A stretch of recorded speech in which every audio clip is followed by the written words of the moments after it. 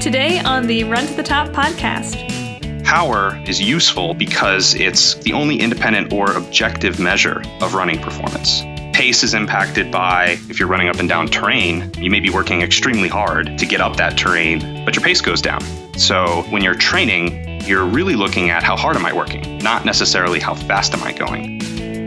Welcome to the Run to the Top podcast from Runners Connect, where it's all about learning from the best and most inspiring minds in the sport. Together, we can train a smarter, healthier, and faster running community. Now, here's your host, Sinead Haughey.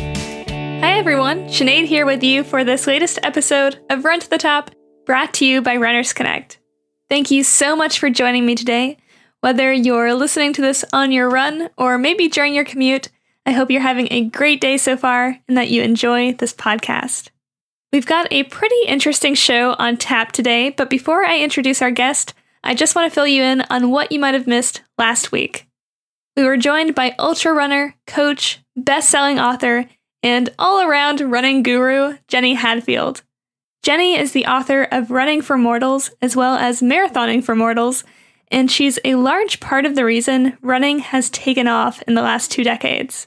Jenny has devoted her life to helping runners with busy lives reach their potential by tailoring their training to fit their needs, not the other way around.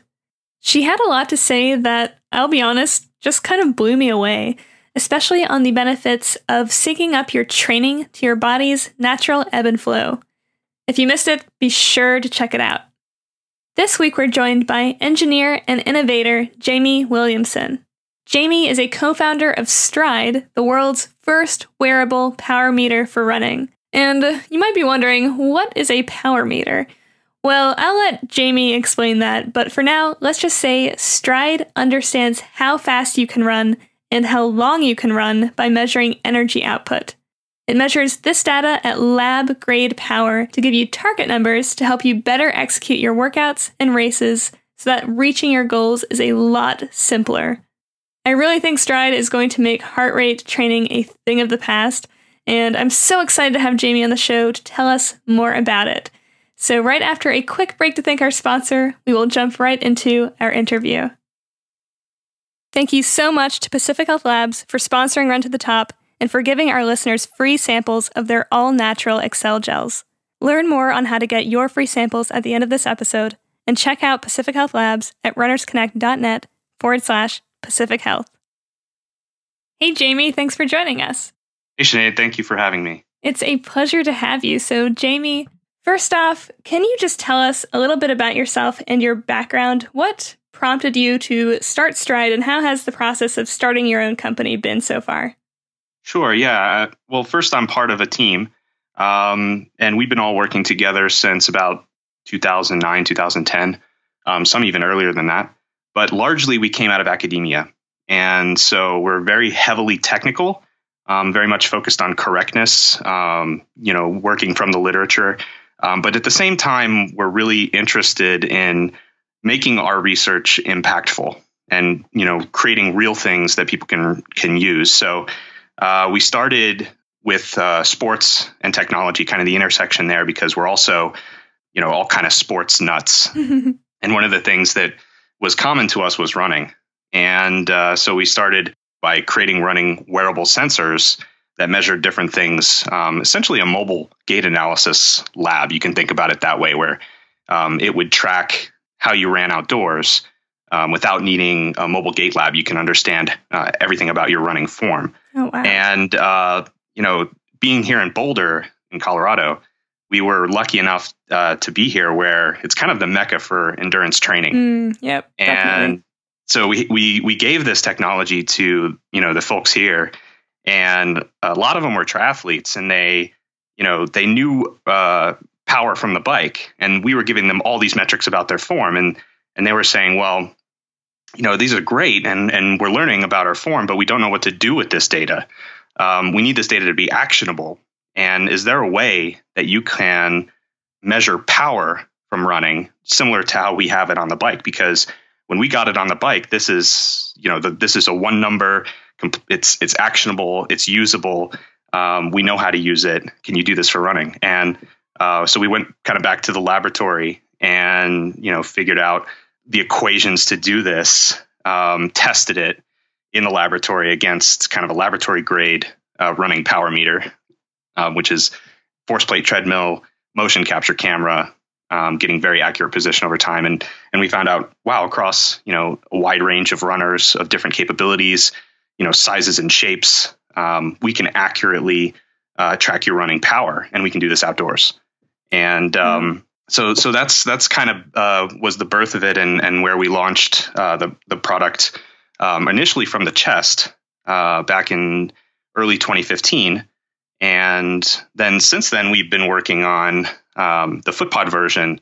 Um, actually, started the work in 2015 because a lot of uh, you know our early adopters were um, willing to wear it on the chest, but they they preferred kind of uh, a, a, no no thought, just put it on, leave it leave it on the shoe and, and run. So there's no on and off of the chest strap. So um, and it turns out we could do when we moved to the foot, we could do quite a bit more tracking and intelligence and uh, and things. So it, it was a, a, great move from us to go from for us to go from the chest to the foot, and uh, so we're we're and we're continually learning. I mean, we're a small and focused team, and you know we've had the ability to partner with with world experts in fields complementary to ours that really are required to make Stryd a reality, um, such as doctors Andy Coggan and Steve McGregor and world class coaches and athletes, like I said, from being in Boulder like including Olympic coach Bobby McGee.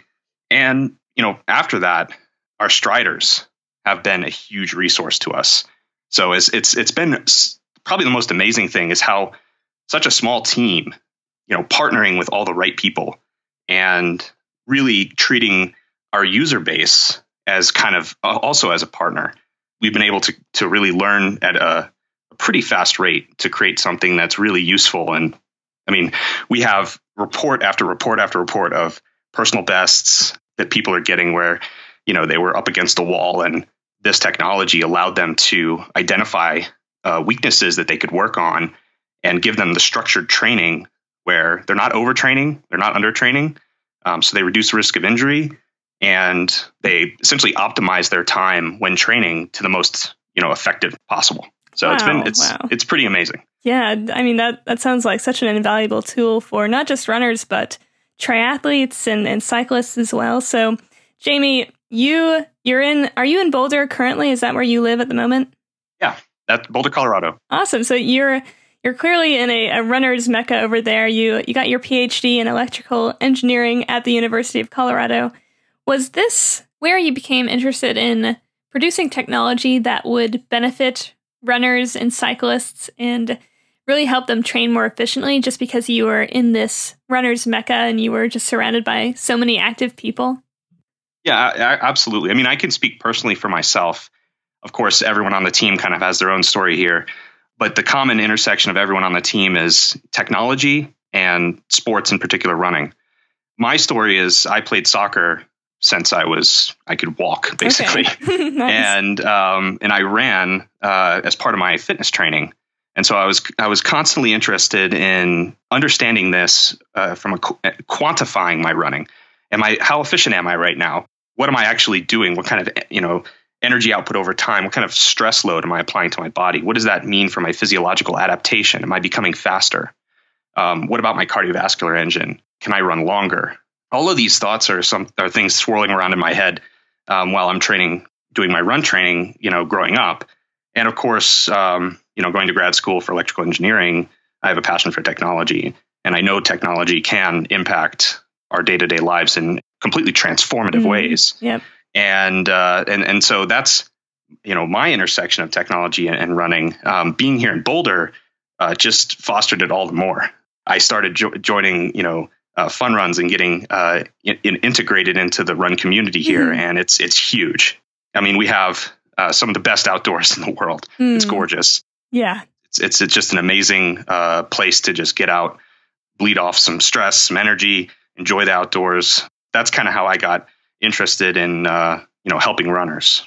Absolutely. You've, you definitely got a wide selection of uh, running venues out there to choose from for sure. I've, I've been out to Boulder and it's such a great place for runners. So, talking about technology, obviously a lot of GPS watches today come equipped with accelerometers and these measure velocity. They also come equipped with barometers to measure atmospheric pressure and so on. So Stryd kind of does take it one step further with these motion and environmental sensors that you were talking about.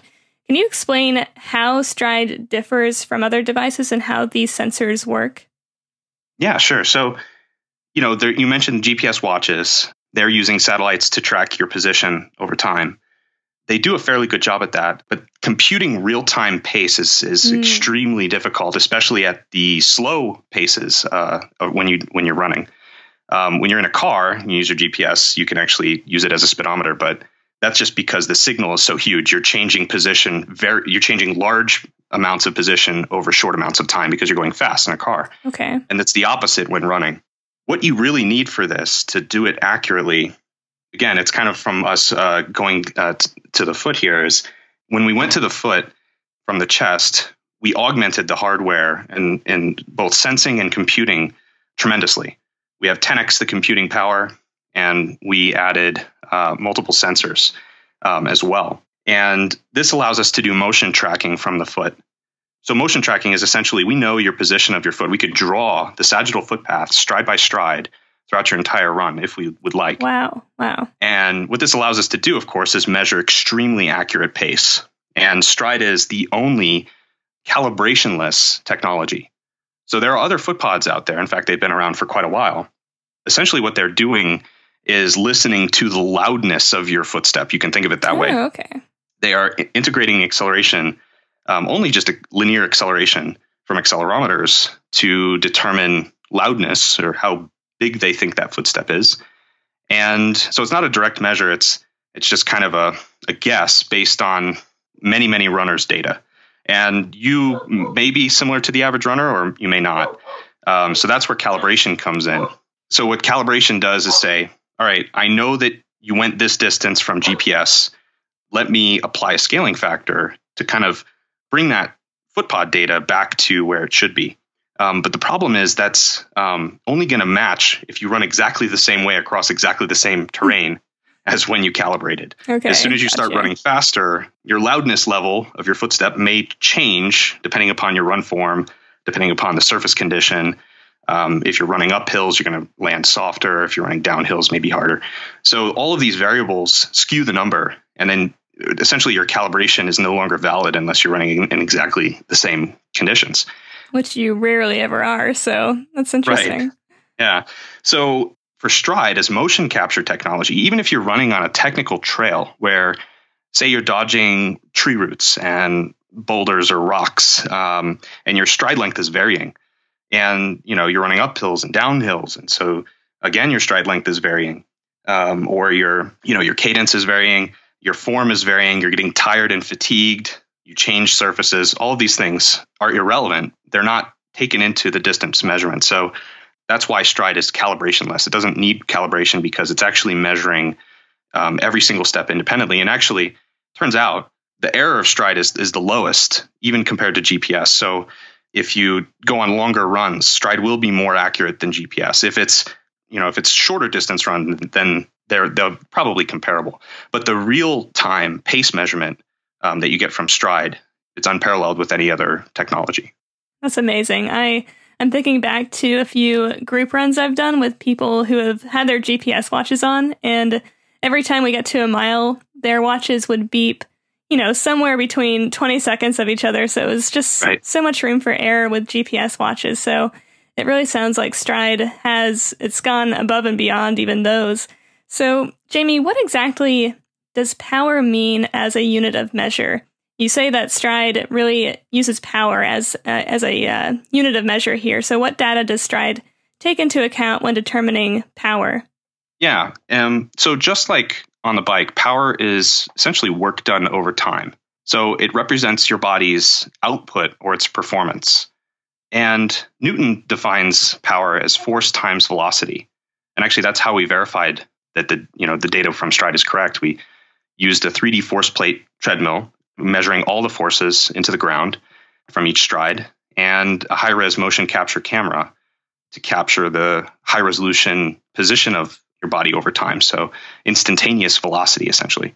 So then that's our laboratory grade uh, power meter for running, and um, so we're able to to to, uh, to match that. So power is useful because it's the only independent or objective measure of running performance. So it's not impacted by any other things. For example, heart rate or RPE, they're both impacted by things like stress. Mm. Pace is impacted by, you know, like if you're running up and down terrain, you may be working extremely hard to get up that terrain, um, but your pace goes down. So when you're training, you're really looking at how hard am I working, not necessarily how fast am I going. So this is really uh, important because it means that the training data you're getting is actually actionable. And that means that you can essentially train specifically for whatever race distance you have. It's very similar to cycling where you can personalize your training based on your fitness level. So we in cycling they have what's called functional threshold power or FTP. And so what this is is a it's essentially um, the maximum amount of energy that you can produce in an hour on a bike. Okay. And uh, we do that in running, and that's going to give you a fitness baseline. Actually, we do uh, shortened versions of that, so you don't need to run for a full hour, full out. And actually, if you have a recent 10k race result, then you know we can use that as well to uh, give you your fitness baseline, um, and we we call it critical power. Okay. From this baseline, um, we can generate power zones. So these are zones ranging from one through five. One being the very lowest intensity, you can almost do it forever, and five, almost a full out sprint. It's uh, it's your repetition zone, and what these zones do is they stress your physiology differently. So if I'm running in the lower zones, then I'm the stress is mainly on my cardiovascular side. So um, I want to run really long distances um, at very low intensity, and my cardiovascular engine can improve. And then at the higher end, I'm stressing my, my the stress on my body is much more neurological or neuromuscular, and this is going to inc- increase um, and strengthen those muscles supporting good running form. So I want to have a mix of both, and I want to have them um, kind of you know varied and periodic through my week's training, and that way I'm stressing my physiology completely, and I'm giving uh, my body a, the ability to recover so that it adapts to the stress that I applied to it, so that I could then repeat the cycle and apply more stress and recover more, and then that's that's improvement. And what power does is it makes it takes the guesswork completely out of this process. Um, you may have asked yourself, how do I how hard do I train today? How long do I run today? How fast do I run today? Um, how many intervals do I do, and for how long, and how much rest do I give between them? And power quantifies all these things, and it does it in, in a completely objective way. Further, you can use power to pace yourself in a race optimally. So if you're running a road course for example, Boston, which has lots of ups and downs, elevation gain and loss, mm-hmm. then you you know most people up until now, kind of the tool that they've had available to them is either heart rate or pace, and most people don't use heart rate to pace a race anyway because it's volatile. You're you know depending upon your rest, depending upon how much anxiety you have about the yeah, race, yep. Uh, your nutrition, um, you're you're going to have you know cardiac lag throughout the race, so you're going to have a, an elevated baseline. Basically, the you know the baseline changes throughout the race. So it's it's it's not consistent. It's so if you don't have a consistent metric, it's very difficult to train with it. Pace, on the other hand, so then you know people when they're pacing for a race, they kind of default to pace because that's basically all we, we've had. But the problem there is, again, if you're running on a course with any varied terrain, then you don't want to keep your your pace the same going up a hill as you did on the flat because you're just going to burn yourself up. And uh, you know, a lot of people have experienced that where you're you're kind of charging up the hill, and the effect on your body is nonlinear. So you're actually taking away more from your body than you're you're paying more than you're getting back in mm. terms of mm. performance, mm-hmm. if that makes sense. Where what you really want to do is you want to maintain the way physiologically to um, optimize power generation and basically so you, you start the race with kind of a full battery you know that's how much energy you have to spend in that race and given the duration of the race, at the very end, at the finish line, you want the battery to be empty. You don't want it to be negative. You don't want it to be, you know, you don't want to have leave uh, stuff uh, on the course where you still have maybe some some energy to, to spare. You actually want to just thread the needle and have nothing left at the end. And power's the way to do that across any course with varied terrain. Because if you, you want to essentially keep your power consistent up and down those hills. So gotcha. the way to maximize the power delivery is to pick the number that's going to leave you the power number that's going to leave you empty at the end and stick to it throughout the race. Okay. So Very interesting. That's what power allows you to do. Um, and we give tools in the Power Center uh, for, for Stryd to kind of help you for the duration that you're doing for, say, 5K or 10K or half marathon, marathon. You know, what is the power number that I should be at for this race? And then you just stick to it, even if that, and you'll find, you know, a lot of people give race reports where they'll, you know, they're going up this hill and they're they're pacing by power and they're finding, wow, I'm actually slowing down quite a lot. Is this right? you know, and then bam, at the end of the race, they've PR'd by a significant amount, you know, because they had they didn't burn themselves up like they've they didn't even realize they were doing in the first place. So so anyway, so it's it's it's it's a it's a pretty uh, powerful tool. Absolutely, it sounds. I mean, I speaking from experience, I've gone out too fast in races too many times to count, so I can see where this would really be a really pretty uh, exciting tool for most runners, especially when they're trying to do their first marathon. So Jamie, you were talking about these target power numbers and how they do help you to kind of keep to a more consistent pace throughout the race, uh, regardless of elevation and terrain.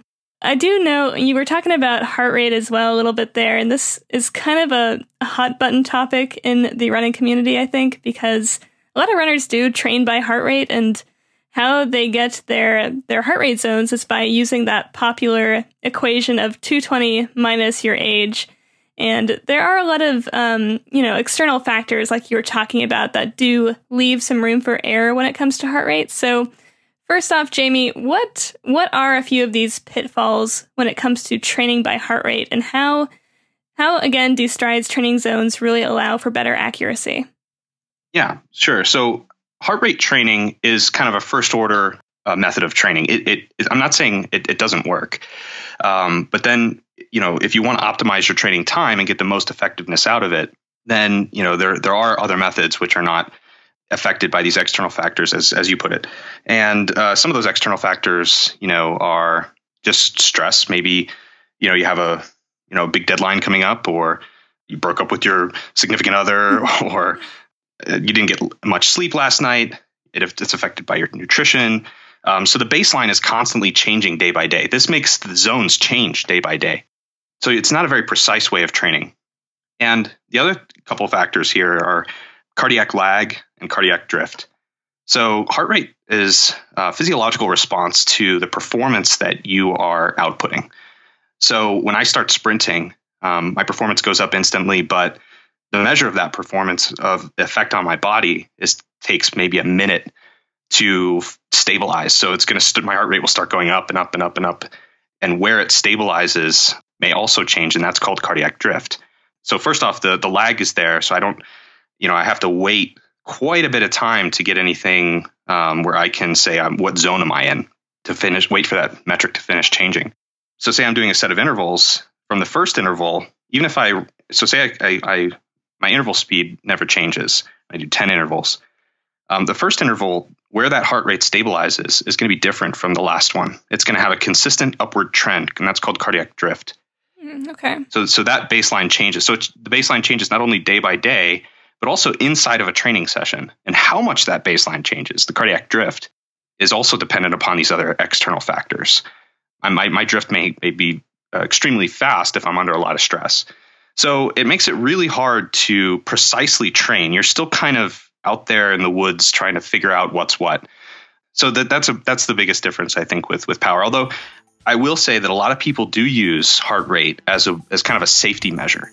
So they'll they'll look at what is my max heart rate that I want to stick to today, and I don't want to go above, and they'll they'll use it uh, in that way. So just to make sure that they're not overdoing it. After the break, Jamie will tell us not only how Stryd gives you paces by measuring your ever changing fitness, but also how it can actually help reduce your risk for injury. This is Sinead Haughey, and you're listening to Run to the Top at Runners Connect.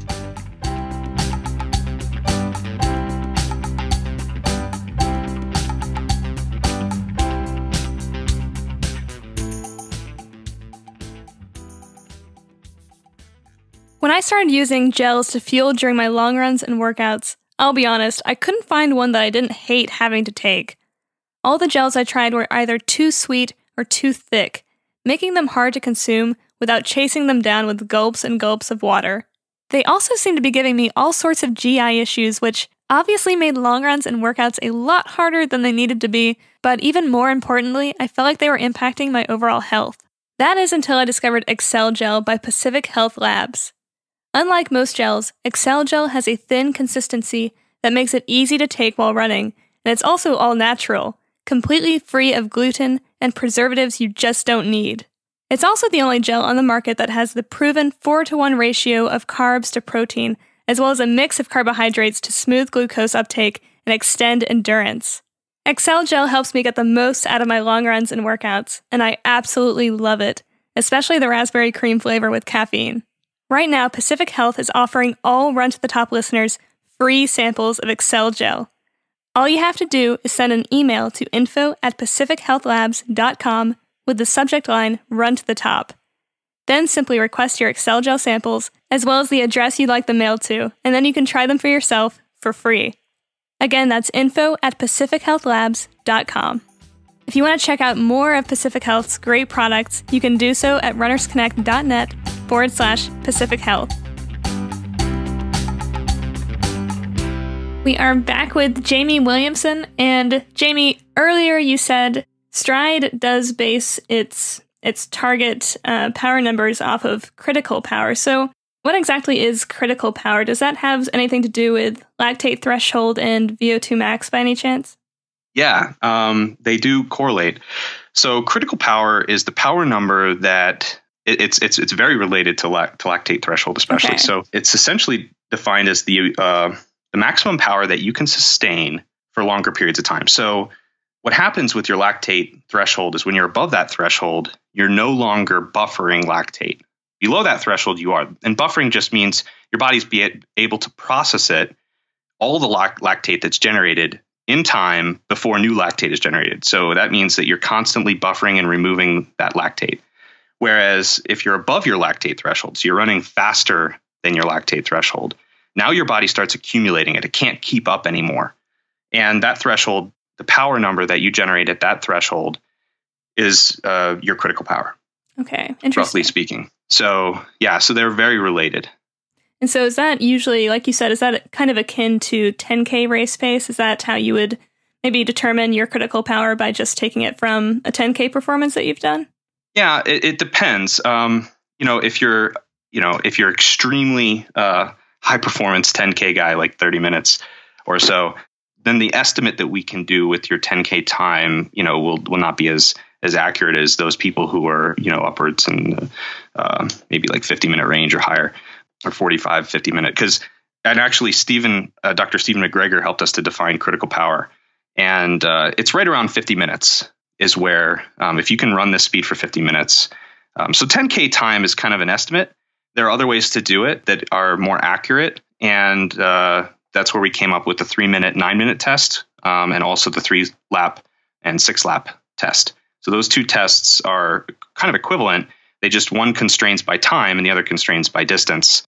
And it gives you two measurements in this case, which help us to improve the prediction of your of your critical power, but it's using a much, much shorter uh, testing time. And the other thing is that critical power changes over time. So if I'm getting fitter, um, critical power is, is, you know, my lactate threshold is going to, you know, improve. And so your, my critical power will improve too. And that means my, because our power zones are based off critical power, um, I'll want to retest that periodically. So we recommend, you know, every three to six weeks or whenever you feel like your performance has changed, and your fitness has changed, you probably want to retest your critical power.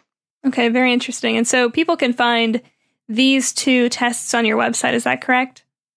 Yeah, and in fact, there's there are um, the Power Center supports them. Uh, you can basically you're just going to run uh, for you know three minutes or nine minutes as all out run. Same thing for the three lap, six lap. You can average the power number in the Power Center we, we provide the tools to do that. You can just drag across your data. It'll compute an average power for that data that you select. And then you plug that into our critical power and zone calculator in the settings tab, and it'll give you all your zones and compute your critical power number for you. Wow. And there are, there That's are other methods of, of doing this too.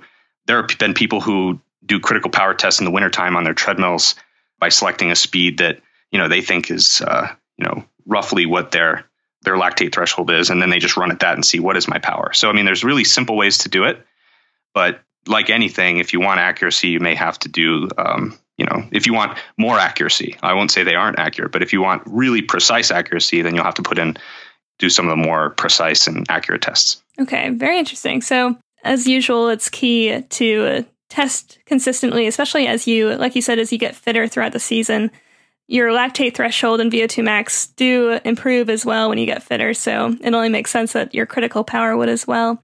You know, you said that Stryd, obviously, it really helps runners to pace themselves better in workouts and in races, but it also helps to uh, allow runners to maybe improve their the economy at which they're running and also their form. So, how does it help in these areas and how does it help to maybe even reduce the risk of injury for runners?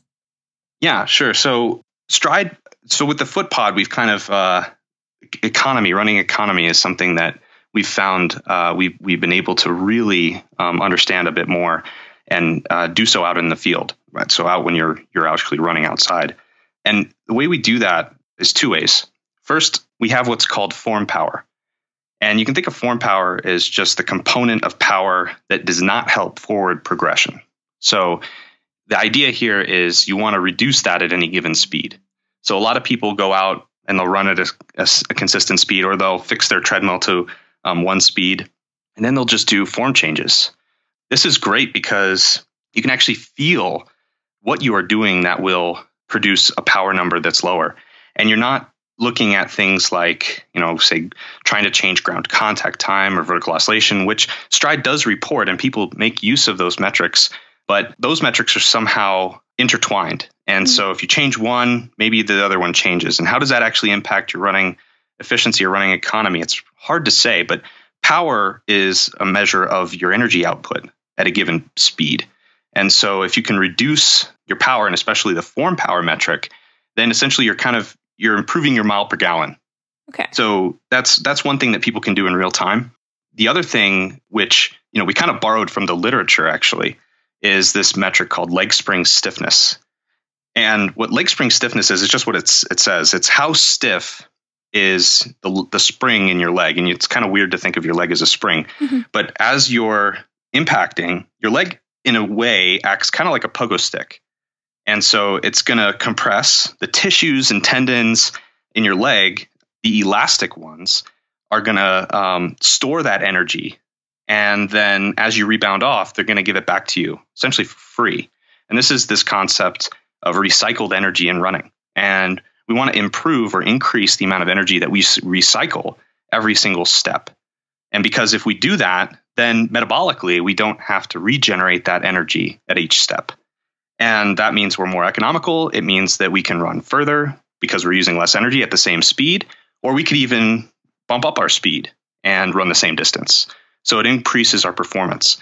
So leg spring stiffness is measured by Stryd, and it really relates mostly to um, your muscle tissue and your tendons. So we essentially t- can help to guide you to improve that through things like strength training, plyometrics, hill repeats, and then that will increase the amount of uh, muscle tissue and strength of your leg and allow you to recycle more energy and become more economical. This is something that changes not necessarily within a run, but it's something you can track the improvement of, you know, week by week and month by month as you're doing these, adding these types of exercises in and becoming being able to support a more economical form, being able to recycle more energy and being more economical overall.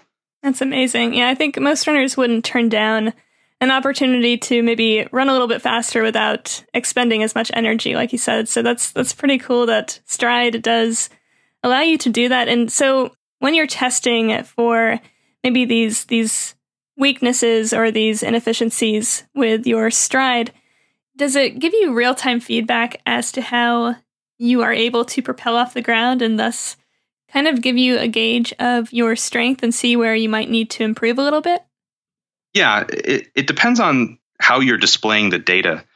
If you use Garmin watches that support Garmin Connect IQ, uh, which is a relatively within the last two years or so new platform on Garmin watches, then you can install the Stryd Power data field. It's an IQ data field, and uh, that'll give you real time power in run mode. And uh, you can also see in real time all the metrics from Stryd if you install the IQ app from Stryd. So then you can play with these things in real time. So all the numbers come in real time. And then, mean, if, if you do run with a phone, if you don't have a Garmin watch with IQ, then you could see it on the phone as well, whether iOS or Android.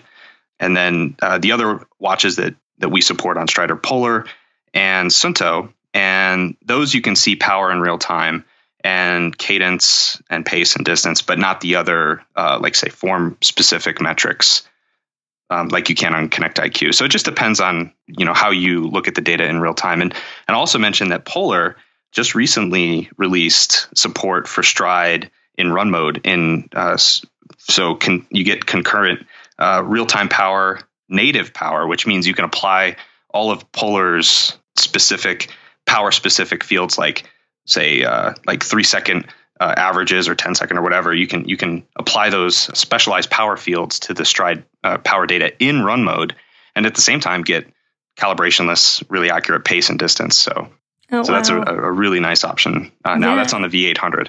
Wow, very cool. So a lot of our members. I mean, a lot of runners in general do love Garmin, and we've got a lot of members that actually are switching over to Polar as well. So, it's pretty exciting that you guys do um, you are compatible with all these other devices. So, how can runners use Stryd with their other devices? Are they compatible with most GPS watches and and um, and phones? Are they compatible with iOS as well? Yeah, uh, we have our own mobile app on iOS uh, and also Android. And then, uh, as I mentioned, Garmin watches through Connect IQ uh, gives you all the the metrics, the customized metrics. Polar, you get native power plus pace and distance and Suunto you get native power. So those those are the the options right now. And we also work with the third party data platforms like Training Peaks and Strava oh, and okay. uh, Garmin Connect, Movescount, and we're adding support for Polar Flow, uh, Polar Flow as well. So, and then of course there's the Power Center, which is kind of a power specific experience for running power, which also uh, we're continually adding to the you could say the intelligence of the power center. So its ability to kind of extract the information out of your power data across, you know, like say your last 60 days of running. So for example, right now we have a new tab that we added recently called the Improve tab, and it tracks your metabolic fitness, muscle endurance, and muscle power taken from your last 60 days of running, and it will compute the trends for you for those metrics. Oh my gosh, wow. That's incredible. Yeah. And we also have a, a training power heat map, which basically shows for each duration of running over the last 60 days how much power you're able to hold. And it, so it kind of gives you a snapshot of, of your training and allows, and, and this is also the way I mentioned before that, you know, you can do kind of a, a race predictor. So given, you know, a specific duration, um, what is the power number that I should be maintaining and holding during that race so that I know that I'm going to be fully expended by the end of that distance. And so um, it's fully data driven. That's incredible. Uh, we have at Runners Connect, we have a lot of our runners do tune up races in, in preparation for their goal races, just for that very reason to to see where it, they are and see how just kind of assess their fitness. So it's pretty yeah. cool that Stryd it does you know does give you that feedback, and that's that's pretty awesome. So yeah, and I'll mention too you know, we we also have power based training plans depending upon your distance and ability. And in this improved tab, we've added a section that shows how well am I matching to this plan. And so if I'm if I see that I can't really stay with it, um, I, I, can see that quantitatively and I can pull it back. That's or if incredible. it's you know pretty int- pretty easy for me, for example, like I'm you know it, it's it's saying that I should be spending this percent in zone five, and I'm kind of or zone four or zone three, maybe, maybe my upper zones, and I'm overshooting what it's asking me to do. Well, maybe it's too easy, and I can. Um, it's actually comparing, you know, what is prescribed versus what are you really doing, and then uh, telling you the difference so that you can adjust. That's great. It really, it just kind of sounds like it takes the guesswork out of it all and makes uh, makes training a little bit more simple, which uh, I think a lot of runners would not say no to. So. Yeah, that's the grand vision. yeah, definitely. That that's definitely the goal here, I think. So, Jamie, one more question I have for you is Stryd, it does measure terrain changes, and um, you know this is something that GPS watches don't actually do. So, is there any? I mean, is there anything in the works for measuring environmental changes? Do you think that Stryd will ever be able to measure wind, for instance? Yeah, great question. We actually have in the past created prototypes that account for wind. And uh, the thing is, we haven't introduced it as part of the product mainly because the effective wind when at running uh, running speed is fairly small. Um, you really need really big gusts of wind to inhibit uh, your forward progression, such that you have to you know overcome uh, you know much more energy mm, okay. and power generation. So, but that said, that is a factor because you know that's essentially we look at it as kind of a corner case that most it doesn't affect you know most people at, you know in most conditions but we want to be able to affect all you know have have the correct effect across all conditions all people. So so wind is something we're working on and we have been working on. Uh, and like i said we've partially solved i would say because it's still prototype phase but it is something that you know i hope to be able to say that we can cover in the future. But as i said it's it is a fairly minimal effect i mean mm-hmm. in cycling the inhibition of say forward progression due to wind or the uh, boost or bonus you get from a, a, tailwind really doesn't start happening until like 20 plus mile an hour winds. Mm-hmm. Yep. and on the bike, that's that's important. Uh, we're constantly probably at the speed 20 miles an hour or higher quite a bit on a bike. So that's why, you know, wind is so important in bike power meters. But with running, we just haven't really seen that. But stay tuned. We'll we'll yeah we'll, okay. We're constantly working to innovate on uh, any line we can, and that's one of them. That's awesome. Well, Stryd, it sounds like it's such a just an all comprehensive tool that could really benefit anyone, whether it be a runner like most of our audience or a triathlete or a cyclist. So you said you are trying to maybe factor wind into Stryd's measurements. Is there anything else that you guys have on tap? Are you working on anything else at the moment? Probably the the thing right right now is uh, coaching. We want to work with coaches. So while this tool is, like you said, comprehensive, and we want to make it comprehensive, it's not intended to replace the coach ever. Technology will never replace the coach. The coach has wisdom, experience.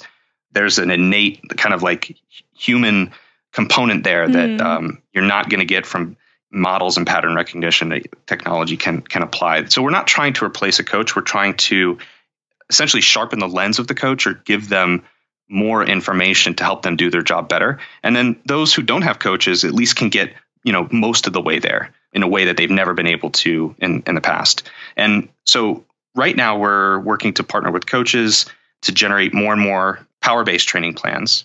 And so if you are a coach and you're working with power, reach out to us because we want to include you.